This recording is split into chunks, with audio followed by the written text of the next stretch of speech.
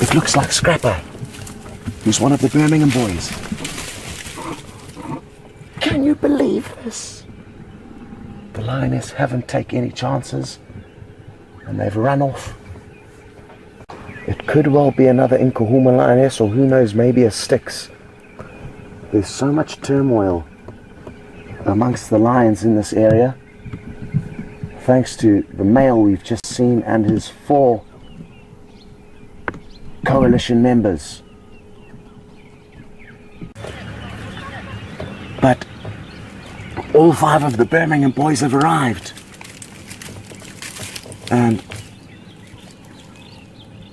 Taxon, who's another guard nearby, says the lioness are running off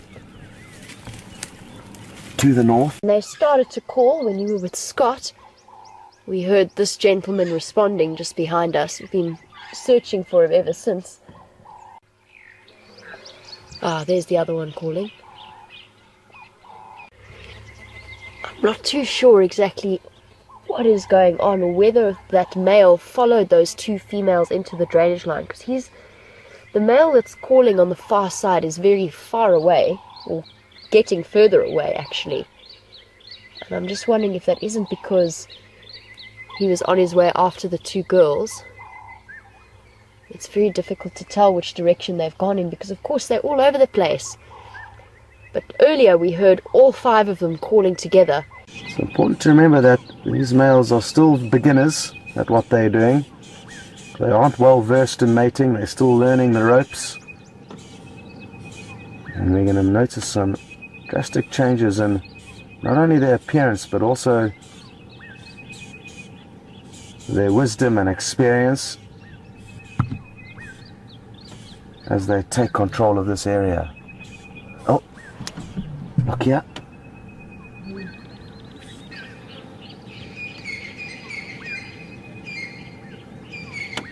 Look at this. Awesome.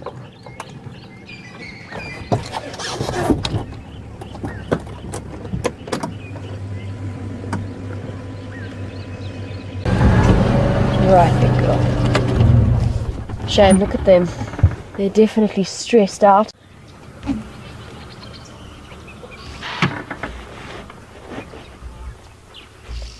Shame, you can see the indecision in their actions. They're not happy. They've been chased off their kill by the Birmingham boys. And I know that there's been lots of speculation as to what's going to happen who were wondering if they're going to mate with the Birmingham boys, what's going to happen. At least they didn't kill them, indeed. At least they just chased them off. Isn't he a beautiful big male? Look at this. What an incredible morning we're having. Organized chaos, you could almost say.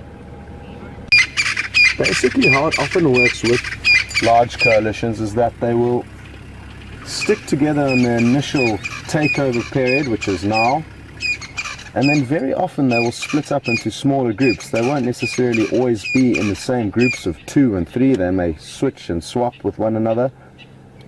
But it will make more sense for them to split up into two units because five of them will be able to acquire a very large territory, and if all five of them are staying together permanently, it will mean that there will be parts of their territory that they cannot patrol and maintain to ensure that there are no other intruders trespassing on their land. So what we'll probably find is that in the coming months we'll probably see them in groups of two or three for the majority of the time. But that's not to say they won't join up when need be if they are forced with competition from other males. They will sing out and call one another in for backup and reinforcements, or possibly even when they are success making a kill. They'll let the other coalition members know and they'll join up to feed together on a large kill like a buffalo. These two females popped out of the drainage line and onto the road. And shame, they look so stressed out. They look really scared. They're not happy. See it in their body language. Very restless. There you go, a bit of contact between them.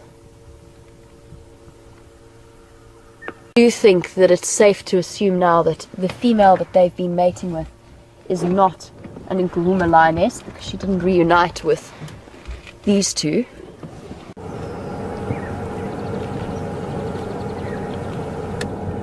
Oh, look at that.